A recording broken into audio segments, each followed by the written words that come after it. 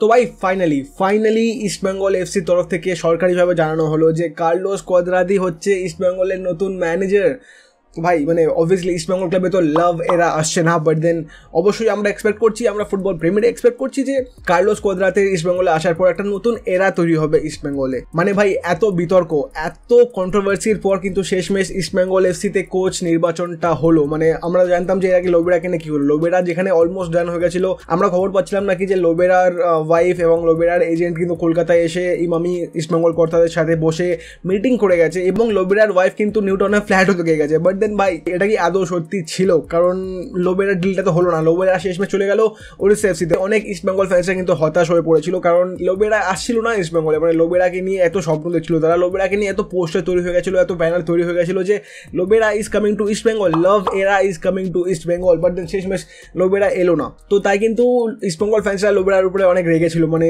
অনেকে তো ভাই বলছিল লোবেরা বিট্রেডার্স লোবেরা আমাদেরকে ধোকা দিয়েছে। তো এরকমভাবে অনেক কিছু চলছিল মার্কেটে বাট দেন শেষমেশ ইস্ট বেঙ্গল তাদের কথা রাখল। মানে ইস্ট বেঙ্গল বলেছিল যে, তারা খুবই শীঘ্রই তাদের কোচের নাম ঘোষণা করবেন এবং সেটা হলো। মানে Carlos Cuadrat is officially and East Bengal coach right now তো আমরা যখন দেখলাম যে লোবেরা চলে গেল ওড়িশা সিতে তখন কিন্তু ইস্ট বেঙ্গল হাবাস এবং কোদ্রাতের সাথে কথাবার্তা চালাচ্ছিল। তখন কিন্তু অনেক ইস্ট বেঙ্গল ফ্যান্সরা কিন্তু চাইছিল যে হাবাস টিমে আসুক। বাট দেন এই রেসে অ্যাকচুয়ালি কোদ্রাত অনেকটা এগিয়ে ছিল। তাই কিন্তু অনেক ইস্ট বেঙ্গল ফ্যান্সরা বলছিল যে, যত শীঘ্রই পারা যায় কোদ্রাতকে সাইন করাও। কোদ্রাতকে নিজের টিমে নিয়ে নাও। কারণ ভাই, যদি কোদ্রাতও লোবেরার মতো এভাবে হাত দিয়ে ফসকে যায়, তাহলে কিন্তু ভাই পরবর্তীকালে সমস্যা হবে ইস্টবেঙ্গল ক্লাবের কারণ তাদের কাছে কিন্তু সেরকম কোনো অপশন থাকতো না পরবর্তীকালে। বাট ভাই ফাইনালি ইস্টবেঙ্গল চলে এসছে Spanish coach Carles Cuadrat he is a tactical master class মানে আমরা দেখেছি যে এই কার্লেস কোদ্রাত কীভাবে ব্যাঙ্গালোরকে সাফল্য দিকে নিয়ে গেছিল। তো কিন্তু অবশ্যই একটা খুব বড় সাইনিং খুব বড় খবর ইস্টবেঙ্গল ফ্যান্সদের জন্য, যেখানে কিন্তু ইস্টবেঙ্গল ফ্যান্সরা অনেক দিন ধরে অপেক্ষায় ছিল যে কবে কবে ইস্টবেঙ্গল ঘোষণা করবে তাদের কোচের নাম? কারণ ভাই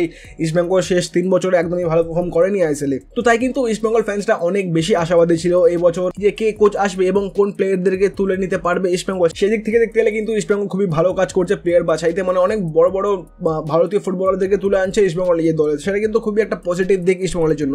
তারপর কিন্তু একটা কোচ একটা কোচ আসাটা কিন্তু বাকি থেকে গেছিল ইস্টবেঙ্গল ক্লাবে তাই কিন্তু ফাইনালি ইস্টবেঙ্গল ক্লাবে কোচের ঘোষণাটাও হয়ে গেল। তো এবার আমরা জানব যে কার্লেস কোয়াদ্রাট অ্যাকচুয়ালি কে? মানে আমরা জানি যে তিনি ব্যাঙ্গালুরু এফসিকে আইসিএল জিতেছেন। ইভেন ব্যাঙ্গালুরু যখন ফেড কাপ জিতেছিল, ব্যাঙ্গালুরু যখন সুপার কাপ জিতেছিল, তখনও কিন্তু তিনি সেই দলের একটা মেম্বার ছিলেন। তিনি কিন্তু সেই দলের অ্যাসিস্ট্যান্ট কোচ হিসেবে ছিলেন।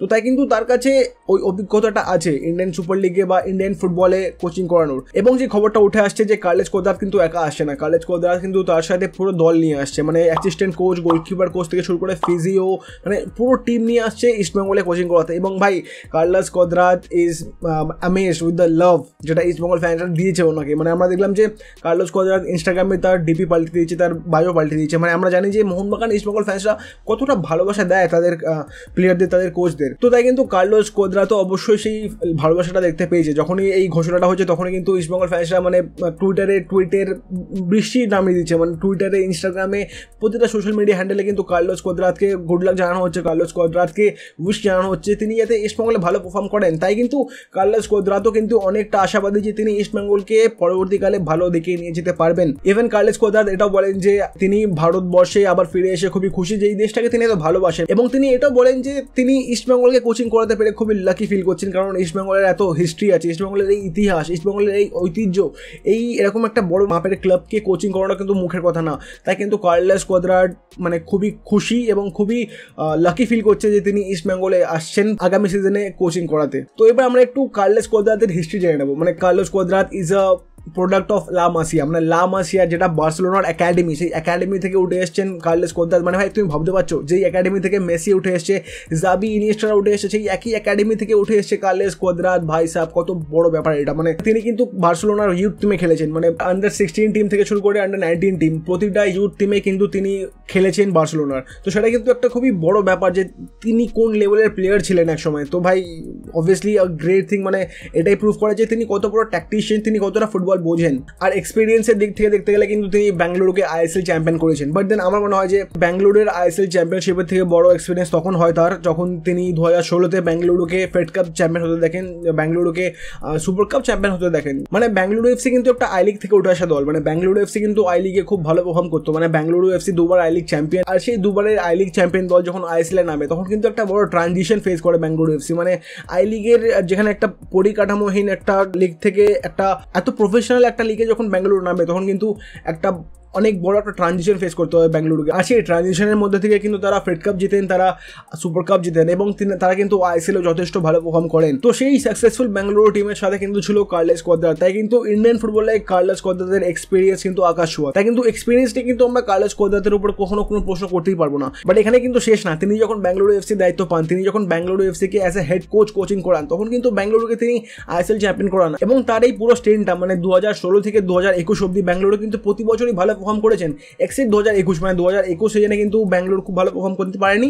তাই কিন্তু কার্লাস কোদরাতকে ছেটে ফেলা হয়েছিল ব্যাঙ্গালোর এফসি টিম থেকে। বাট সেখানে কিন্তু কার্লাস কোদরাতের ডাউনফল শুরু হয়নি। তারপরে কিন্তু তিনি সিপ্রাসের একটি ক্লাব অ্যারিস লিমাসল যারা কিন্তু সিপ্রাসের সেকেন্ড ডিভিশন থেকে ফার্স্ট ডিভিশনে উঠে আসেন, সেই দলের অ্যাসিস্ট্যান্ট কোচ হিসাবে তিনি দায়িত্ব নেন। এবং সেই সেকেন্ড ডিভিশন থেকে উঠে আসা দলটিকে কিন্তু তিনি চার নম্বরে ফিনিশ করান। তাই কিন্তু এটা একটা খুবই বড় ব্যাপার যে মানে কার্লোস কোদ্রাত মানে obviously he was the assistant coach there but then তারও অনেক বড় একটা কৃতিত্ব আছে এই সাফল্যতে। বাট দেন লিমাসলে এক বছর থাকার পর তিনি কিন্তু যোগ দেন ডেনমার্কের টপ টিয়ার ক্লাব মিডজিল্যান্ডে মানে তোমরা কি জানো মিডজিল্যান্ড কোন দল? মানে মিডজিল্যান্ড দু হাজার কুড়ি একুশ সালে চ্যাম্পিয়ন্স লিগে অংশগ্রহণ করেছিল। মানে তারা কিন্তু লিভারপুল আয়াক্স এবং অ্যাটলান্টাকে ফেস করেছিল চ্যাম্পিয়ন্স লিগ গ্রুপ স্টেজে তারা কিন্তু লিভারপুলের সঙ্গে একটা ম্যাচ ড্র করে এবং অ্যাটলান্টার সাথে একটা ম্যাচ ড্র করে। সেটা কিন্তু খুবই বড় ব্যাপার।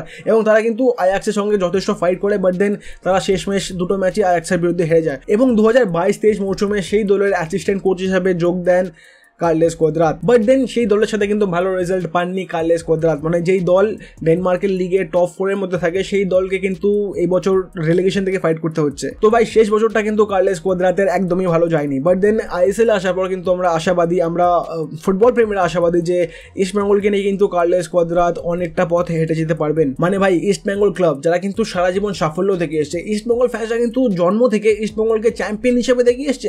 সেই ইস্ট বেঙ্গল দল গত তিন বছর আইএসএল এ যেভাবে বাজে পারফর্ম করেছে, সেই পারফরমেন্সটা দেখে কিন্তু ইস্টবেঙ্গল ফ্যান্সরা একদমই খুশি নয়। তাই কিন্তু ইস্টবেঙ্গল ফ্যান্সরা যথেষ্ট আশাবাদী যে তারা পরের বছর কিছু চমক দেবে। মানে ভাই, আমি বিং আ মোহনবাগান ফ্যান আমি চাইছি যে ইস্টবেঙ্গল কাম ব্যাক করুক। কারণ ভাই, আমি ইস্টবেঙ্গলকে এইভাবে দেখে কিন্তু অভ্যস্ত নই। মানে ইস্টবেঙ্গল এতটা বাজে পারফর্ম করছে মানে আমি সত্যি বলছি মানে আমি কোন ইস্টবেঙ্গলকে দেখে অভ্যস্ত? আমি সেই মর্গানের ইস্টবেঙ্গলকে দেখে অভ্যস্ত? আমি সেই আরমান্দ কোলাসোর ইস্টবেঙ্গলকে দেখে অভ্যস্ত? আমি সেই সুভাষ ভৌমিকের ইস্টবেঙ্গলকে দেখে অভ্যস্ত? যারা কিন্তু বছরের পর বছর সাফল্য পেয়েছে, তাই কিন্তু এই তিনটে বছর ইস্টবেঙ্গলে যেভাবে কেটেছে, আমি কিন্তু সত্যি বলছি, আমি নিজে খুবই দুঃখিত যে ইস্টবেঙ্গলকে এরকম একটা ফেস থেকে যেতে হচ্ছে। তো ভাই, পরের মৌসুমে কিন্তু আমরা অবশ্যই একটা ট্যাকটিক্যাল ফাইট দেখতে চলেছি মোহনবাগান এবং ইস্টবেঙ্গলের মধ্যে। কারণ ভাই, দুই দলের কোচে কিন্তু স্প্যানিশ কোচ এবং দুই দলের কোচে কিন্তু ট্যাকটিক্যাল মাস্টার মাইন্ড তো ভাই, আমি কিন্তু যথেষ্ট আশাবাদী যে আমরা পরের মৌসুমে একটা হাড্ডা হাড্ডি ডার্বি দেখতে চলেছি। তো ভাই ইস্টবেঙ্গল ফ্যান্সরা তোমরা কমেন্ট বক্সে জানাও যে তোমরা কার্লেস কোদরাতকে অ্যাজ এ হেড কোচ দেখে কতটা খুশি এবং মোহনবাগান ফ্যান্সরা তোমাদের কি মনে হয় কার্লেস কোদরাত কি সত্যি ইস্টবেঙ্গলকে সাফল্যের দিকে এগিয়ে নিয়ে যেতে পারবে?